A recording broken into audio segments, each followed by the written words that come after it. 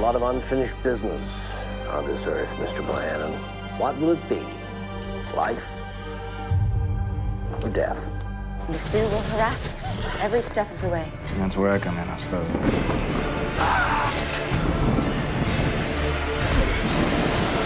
It will be apocalyptic.